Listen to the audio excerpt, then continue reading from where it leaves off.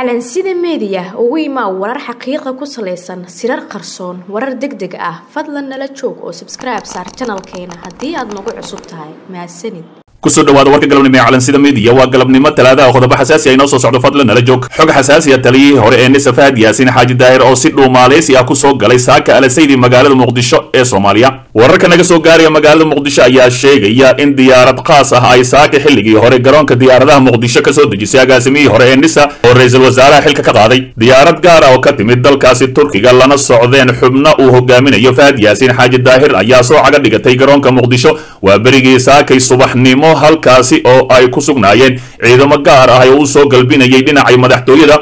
Dhuumasho ayuu ku yimid xilli aysan shaqaalaha garoonka aadan cadda aysan soo gelin imaanshaha fahad yaasin iyo xubnaha la socday ayaa ahaa mid qarsoodi u ah oo aysan ka warqabin xubnaha xafiiska ra'iisul wasaaraha oo horey u xayiray in diyaarad siday aysan ka soo caga dhiga karin garoonka diyaaradaha aadan magaalada muqdisho. Fahad yaasin ayaa dib loogu celiyey garoonka diyaaradaha jabuuti toban iyo toddobadii bishii xilli uu ku soo jeeday muqdisho iyadoo diyaaradii uu saarnaa turkey airlines ay diiday in ay u socdaasho magaalada muqdisho dibna ugu laabatay magaalada istanbul ee dalkaasi turkiga. Xafiiska madaxweynaha mudaxileedkiisa dhammaaday ayaa tallaabadaasi ku eedeeya dowladda jabuuti oo la fahansan yahay inaysan wax shaqo ahay ku lahayn balse hay'adda duulista soomaaliya uu amarkaasi ka soo baxay iyadoo tixgelinaysa amar ugu yimid xukuumadda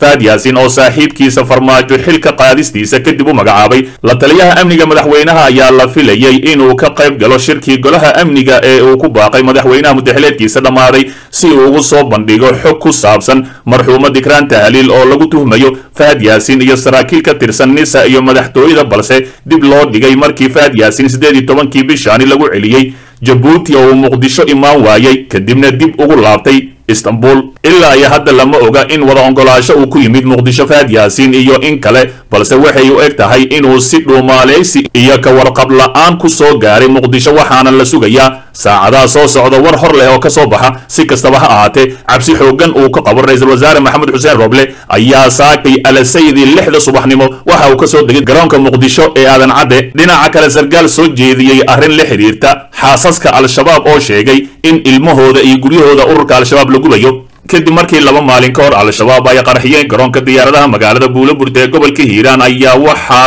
shalay shir jaraa'id qabtay saraakiil ka tirsan ciidanka xoogga dalka iyo kuwa amisom ee ku sugan buulaburte abaanduulaha ururka afartan iyo koowaad guutada shanaad ee qaybta labaatan iyo toddobaad ee ciidanka xoogga dalka maxamed muumin cilmi oo warbaahinta la hadlaya ayaa si adag ugu dhaartay. Dadka gabaadka siinaya kooxda al-shabaab gaar ahaan carruurta iyo xaasaskooda isaga oo ka caraysan tallaabadaasi ay ku burburiyeen dhismihii garoonka diyaaradaha markii labaad. Laba maalmood ka hor ayaa xarigga laga jari rabay dhismaha al-shabaab. Qaraxa ku burburisay kaas oo loogu talagalay in loogu adeego dadka ka duulaya iyo kuwa ka soo degaya garoonka magaalada buulaburte abaanduulaha oo aad u caraysan ayaa ku hanjabay inay beegsan doonaan guryaha amiirada al-shabaab ee ku dhex yaalla magaalada iyo meel kasta oo ay dhismo ama hoy ku leeyihiin ururka al-shabaab. Kuwa garoonka qarxiyey waa shabaab ka soo jeeda magaalada buulaburte. Ciidanku waxay amar u qabaan inay guryaha ay degan yihiin ku gubaan carruurta iyo xaasaska al-shabaab. Meel kastana waan uga daba tegaynaa ayuu yidhi maxamed muumin cilmi wuxuu sheegay inay yaqaanaan guryaha ay carruurta iyo xaasaska al-shabaab ka degan yihiin magaalada buulaburte oo aysan waxba u geysan jirin balse hadda kadib ay gubi doonaan wuxuu yidhi waxay doonayaan inay indhaha ka ridaan dadka soomaaliyeed. War guryihiina waan garanaynaa halkay magaalada uga yaalaan war ilmihiina buulaburte ayay degan yihiin waana ku dhaqaalaynaa. War waxaad burburinaysaan waa guryihii ay wada lahaayeen ummadda soomaaliyeed taasna idinka yeeli mayno guryihiina iyo buushashkiina. Ayaan dabada tarax uga qabanaynaa ayuu hadalkiisa ku sii daray maxamed muumin cilmi abaanduulaha ururka afartan iyo koowaad guutada shanaad ee qaybta labaatan iyo toddobaad ee ciidamada xoogga dalka soomaaliya ururka al-shabaab ayaa degmadaasi siddeed sano go'doon ku haysa islamarkaasina wax gaadiid raashiin ah aysan soo galin hase ahaatee dhinaca u furan ayaa ah duulimaadka. Waa markii labaad ee garoonka diyaaradahaasi ay qaraxyo ku xidhaan islamarkaasina gebi ahaanba oo dhulka la simo garoonka ayaa ku yaalla meel ka baxsan magaalada. Habeenkiina ciidamo yaryar ayaa waardeeya. Hase ahaatee markii dhismihii la begi rabay cali guudlaaba ayaa halkaasi ka degi rabay kadibna inta uusan imaanin habeenkii saaq dhexe ayay waxa ay ku xidheen miinooyin gebi ahaanba dhulka ayay dhigeen. Dad shacab ah ama shaqaale ah ayaana ku dhaawacmay. Fadlan dib u daaw wararkeenii hore ee calansida meediya xog xasaasiya warmurtiyeed ka soo baxay shirkii odayaasha dhaqanka ee muqdisho ku shiray islamarkaasina dhegta dhiigga loogu daray madaxweynaha wakhti ka dhacay maxamed cabdilaahi farmaajo islamarkaasina taageero xooggan siiyey ra'iisul wasaare maxamed xuseen rooble shir maalmihii u dambeeyey uga socday magaalada muqdisho odayaasha dhaqanka beelaha soomaaliyeed iyo qaar ka mid ahay culimada ayaa waxaa laga soo saaray warmurtiyeed si weyn loogu taageeray ra'iisul wasaaraha soomaaliya maxamed xuseen rooble looguna digay madaxweynaha mudaxileedkiisa dhammaaday madaxa adag ee kursiga jecel maxamed cabdilaahi farmaajo. Warmurtiyeedka ka soo baxay shirkaasi ayaa waxaa lagu sheegay in awoodaha ra'iisul wasaare rooble loo igmaday ay tahay arrimaha doorashooyinka iyo amniga taasina lagu tixgeliyo shirweynaha wuxuu adkaynayaa in laga fogaado wax walba oo dhabarjabin kara habsami u socodka shaqada qaranka ee uu hormuudka ka yahay ra'iisul wasaare maxamed xuseen rooble ayaa lagu yidhi warmurtiyeedka maamul goboleedyada qaybta ka ah dowladda federaalka inay dhowraan shuruucda dalka kana fogaadaan wax walba oo dib u dhac ku imaan kara doorashooyinka dalka wuxuuna shirweynaha kula talinayaa madaxweynaha mudaxileedkiisa dhammaaday inuu ilaaliyo sharciga qaranka. Sidoo kale waxaa qayb ka ah warmurtiyeedka lagu sheegay in loo diyaar garoobo in la dhowro dimuquraadiyadda iyo dowladnimada haddii uu madaxweynaha mudaxileedkiisa uu dhammaaday maxamed cabdilaahi farmaajo uu ka dhaga adeego baaqyada ugu imaanaya beesha caalamka iyo qaybaha kala duwan ee bulshada. Shirweynuhu waxa uu madaxweynaha mudaxileedkiisa uu dhammaaday uga digayaa inuu joojiyo is-hortaagga uu ku hayo kiiska cadaalad uhelidda ikraan tahliil faarax kana waantoobo. Habdhaqanka aan sharciga ku dhisnayn ee ku difaacayo eedaysanayaal loo haysto dil barakac iyo is-horitaag doorasho xor iyo xalaal ahi ayaa lagu yidhi warbixinta. Ugu dambayntii waxay bulshada soomaaliyeed ugu baaqeen inay isugu soo baxaan mudaharaadi lagu taageerayo ra'iisul wasaare maxamed xuseen roble kaasi oo looga soo horjeedo qariska tuurnimada ee madaxweyne maxamed cabdilaahi farmaajo. Si kastaba ha ahaatee odayaasha dhaqanka beelaha soomaaliyeed mar haddii ay la safteen rooble loogana soo horjeestay farmaajo waxba uma yaalaan waxayna ku baaqeen mudaharaad culus oo gilgilaya magaalada muqdisho dhinaca kale ayaa baajiyey shirkii madaxda maamul goboleedyada ee loogu ballansanaa garowe.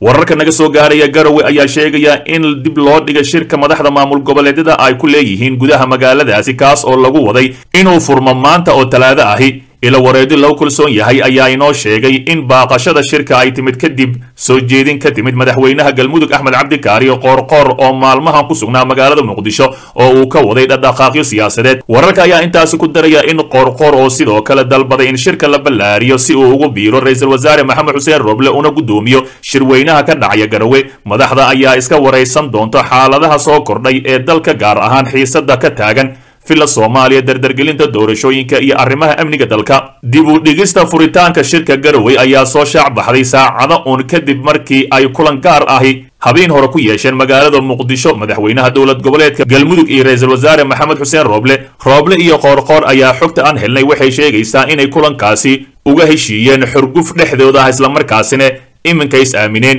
si kastaba shirka ka dhacaya garowe ayaa waxaa la iclaamiyey toban iyo toddobadii bishaani kadib kulan aalada zoomka ahy ku yeesheen madaxda maamul goboleedyada dalka iyadoo laga reebay ra'iisul wasaare maxamed xuseen rooble dhinaca kale cali guudlaabe xuseen madaxweynaha dowlad goboleedka hirshabelle ayaa waxaa kulan dhinaca qadka internetka ahi uu la qaatay xubno ka mid ahay wakiilada beesha caalamka ee jooga soomaaliya. Madaxweynaha ayaa ugu warbixiyey horumarka inta uu xil ka hayay laga gaaray dhinacyada amniga dhaqaalaha iyo doorashooyinka socda ee aqalka sare iyo diyaargarowga loogu jiro. Doorashada aqalka hoose ee golaha shacabka federaalk soomaaliya wakiilada beesha caalamka ee soomaaliya ayaa waxa ay soo dhoweeyeen madaxweynaha hirshabelle dadaalkiisa ku aadan dhammaystirka doorashada xubnaha aqalka sare u matalaya hirshabelle iyo dardargelinta doorashooyinka golaha shacabka sidoo kale waxa ay ku ammaaneen dadaaladiisa joogtada ah ee uu ku gaaray dhammaan beelaha iyo sida ay uga go'an tahay in la xaqiijiyo qoondada haweenka ee boqolkiiba soddon ee baarlamaanka soomaaliya. Madaxweynaha hirshabelle cali guudlaabi xuseen ayaa dhankiisa waxa uga mahad celiyey wakiilada beesha caalamka taageerada ay siiyaan soomaaliya waxaana uu sheegay in maamulka hirshabelle uu si dhow ula shaqayn doono wakiilada beesha caalamka ee fadhiya xerada xalane ee magaalada muqdisho ayaa maalmihii la soo dhaafay waxa ay kulamo looga hadlaya dardargelinta arrimaha doorashooyinka ay la qaateen madaxda dowladda federaalk soomaaliya iyo dowlad goboleedyada.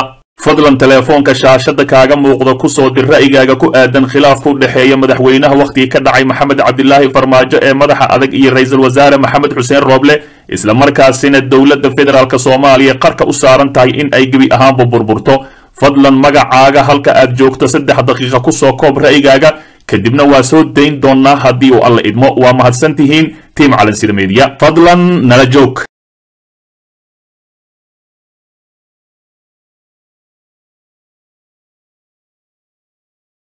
Dhegaystow ogow haddaadan xalka qayb ka noqon waxaad qayb ka tahay dhibaatada dalka